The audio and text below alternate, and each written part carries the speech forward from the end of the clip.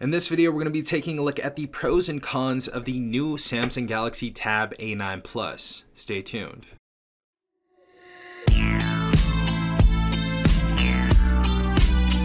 Alright everyone, hopefully you guys are having a good day. Hopefully everyone is safe out there. We have the Samsung Galaxy Tab A9 Plus right here, and I've been using this device for almost a week now, and I've had some decent experiences on this and some not so decent experiences. So in this video, I'm going to be going over the pros and cons, my favorite and my least favorite things about this device, just to let you guys know my opinions on this device for anybody who's thinking about buying it. Also, if you guys want to purchase this device, I'll leave an affiliate Amazon link in the description down below and the top comment down below as well. If you use that link to buy this tablet or use that link anytime on this channel, it always helps out the channel. But getting into the pros and cons on this device, we're going to first and foremost start off with the pros on this device.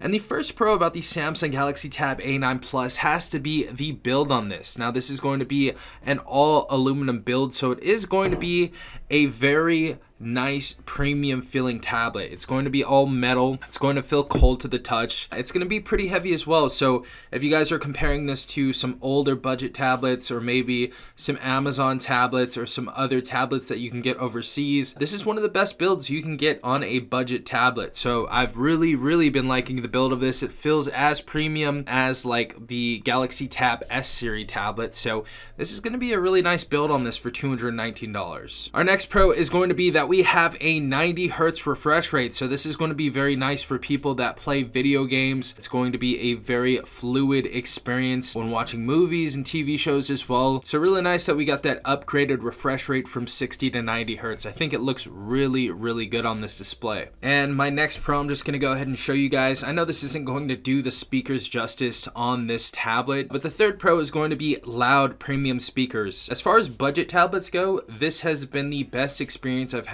with speakers.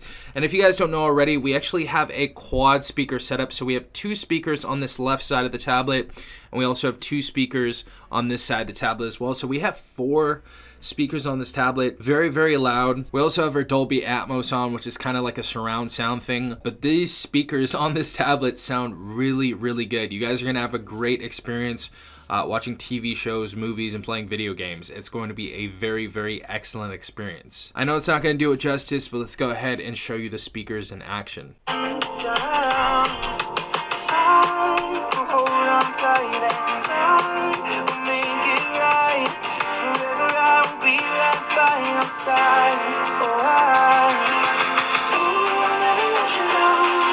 Guys, so our next pro is going to be the memory expansion on this tablet. If you guys don't know already, uh, we can expand the storage on this device up to one terabyte, so that's always great to see. And as you guys see right there, we have a little spot where you can go ahead and use that SIM ejector tool, pop that out, and we can expand our storage. So great to see that on here. Great to see that we can store more photos and videos and ROMs and certain things like that that we download. Definitely something that uh, Apple doesn't do anymore, especially for their budget tablets. Our next pro is going to be something extremely basic, but we still have a headphone jack. I don't know if you guys can see this, but at the corner of this tablet, we have a headphone jack right there. So in 2024, that's honestly impressive.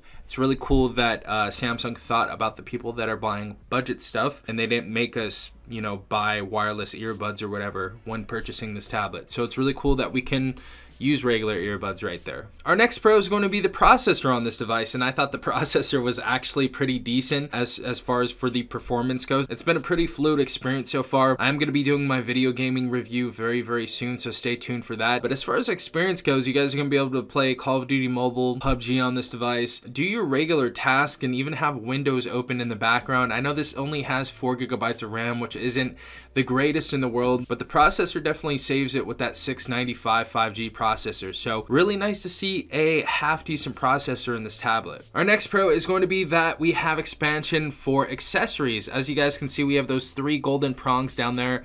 And what a lot of people do, because this does have Samsung DeX, which is going to go into our next pro, is actually use a keyboard on here they hook up a mouse and stuff and they use this as their work computer and it has enough power to go ahead and do that especially if you're only doing things like Microsoft Word or you're going on Google Drive and you're doing Google Files and different stuff like that. So if you guys just need to do some basic classwork or some basic work for your office job, maybe write out some reports, do some stuff like that, just very basic stuff, this is going to be as decent as a laptop for you guys. And I've seen some really, really decent mechanical keyboards for this as well. So some really cool accessories out there that are going to be compatible with the Galaxy Tab A9 Plus. And that segues us into our next pro, which is this has a PC experience in this. If you guys did not know already, uh, we have a full PC experience on this device and it is called Samsung DeX.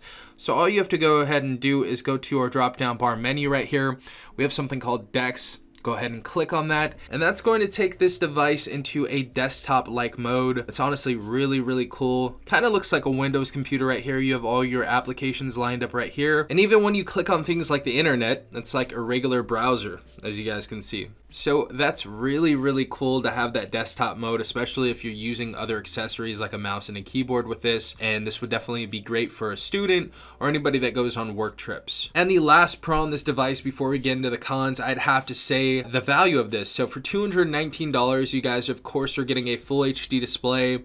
You guys are getting four very loud speakers on this, memory expansion, a headphone jack, a really nice build on this, and we also have room for accessories, like I said before, and the PC experience as well. So if you guys are looking for a tablet that you can watch your TV shows on, you can watch movies on, you can do some light gaming and light work on, I feel like this is a very good value for $219. So that was the last pro of this device. I'm to go into some things that I do not like about this device. So the first thing right off the bat is going to be we only have 64 gigabytes of internal storage on this base model of the Galaxy Tab A9 Plus. So not a lot of storage in here, especially for 2024 when the average application's like 500 megabytes to gigabyte now, especially if you're downloading video games like Genshin Impact where it takes like 24 gigabytes to even download the game. Just not a lot of storage in here, especially if you guys are wanting to download a lot of video games. I would uh, upgrade to the 6 gigabyte variant that has 128 gigabytes of internal storage if you guys are thinking about downloading a lot of video games or a lot of applications on this. I would definitely invest the extra $50 to go and do that. Uh, but on the base model, kind of sucks we only have 64 gigs. Our second con is going to be that we have a TFT display which is not for everyone. I feel that most people are going to be absolutely fine with the TFT display on this device. As you guys can see, when we turn it, we kind of get these dark spots right here, but if you look at it head on, it's gonna look great. Even turning it slightly, it doesn't look bad either. It definitely doesn't bother me at all, and I'm the type of person that doesn't want to spend like five to eight hundred dollars on a tablet, so this is perfect for me. I like the display on this. I feel like there are gonna be some people that get in their head too much and they're like, I don't really like how it turns like that. I want something a little bit more premium. Then I would say go up into another price range.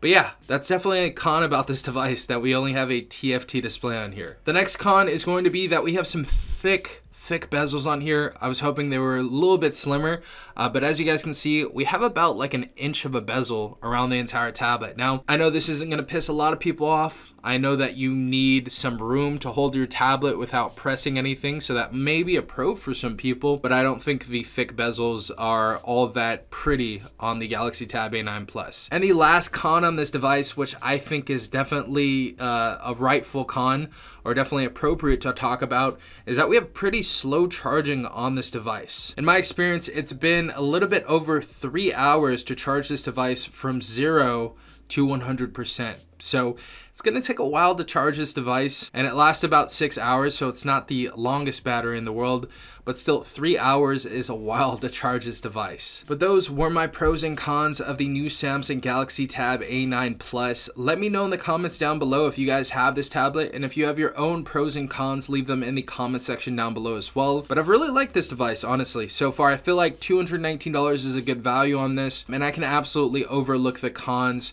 Uh, for somebody that wants to do some light gaming, some light uh, office work on this or class work on this, and of course just scrolling through Instagram and watching Netflix, Hulu, and all of those other uh, media applications and video applications on here. I think you guys are going to be absolutely pleased, especially only spending $219. But those were my pros and cons on the Samsung Galaxy Tab A9 Plus.